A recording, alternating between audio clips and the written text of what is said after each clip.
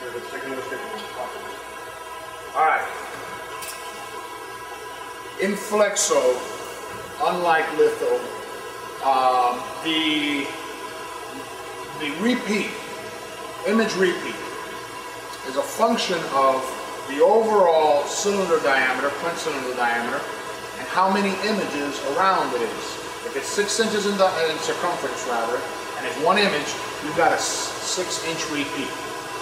And that correlates to how many teeth and all of that as you found out. You have to have the correct number of teeth, and we'll go into that later, relative to the images, okay? However, you're talking about flood coating tint rollers, uh, as long as the, the gear tooth corresponds correctly to the diameter of the tint roller, it doesn't matter. It, its relationship to your uh, to your plates and your die is not important like it is when you're considering your plates and your die because this is just a continuous print. And they correspond, you saying the gear tooth has to be the same as this? Right. It has to. This this has a certain diameter, which means it has a certain circumference, okay. and there's an appropriate number of teeth correlating to that. Okay. Okay. So, so this is probably the right configuration for this, and they've already used it. Okay. Um, and you can put another tint sleeve on this of different widths and stuff. So you're probably going to have... We need a little bit wider window, don't we? Yeah, we do. Okay. We're going to get to that. Okay. So here's the thing. So now we say to ourselves, okay, so as far as the diameter is concerned, I don't have to worry about that. All my tint rollers are the same diameter because they come in these little tubes that we slide onto this shaft and we just put different collars on it to hold it in place. Okay. So I'm not worried about the diameter or the gears. This is the right thing. Now the only thing is, is it wide enough or narrow enough? This is the correct width. This is how we determine that.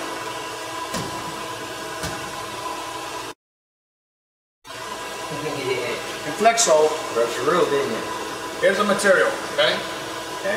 It's running in this direction. Okay. That's just where we break the material, okay? Now, in the, the, the coating roller is going to be printing on it and it's going to flood coat this just a continuous color. In this case, today's label is going to be blue. All right?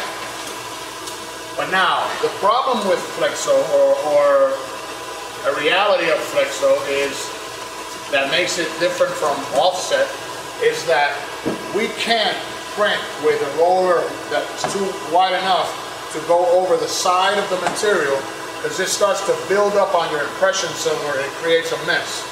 So we cannot go, we, we're limited, we cannot go wider than this substrate, okay. all right? So now we are at six inches on this substrate.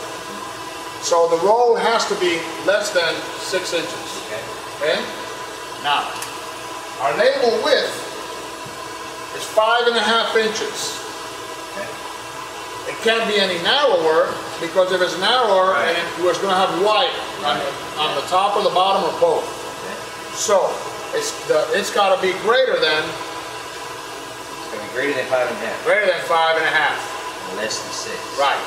Well, five and three quarters would give us an eighth of an inch over in terms of printing on each side, okay.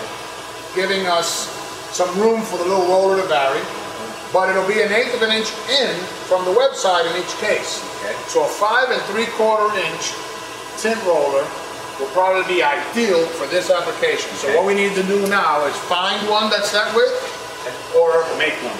Okay. Now,